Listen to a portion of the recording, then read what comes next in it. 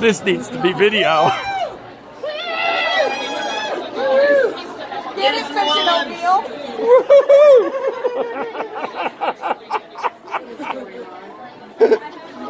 O'Neill.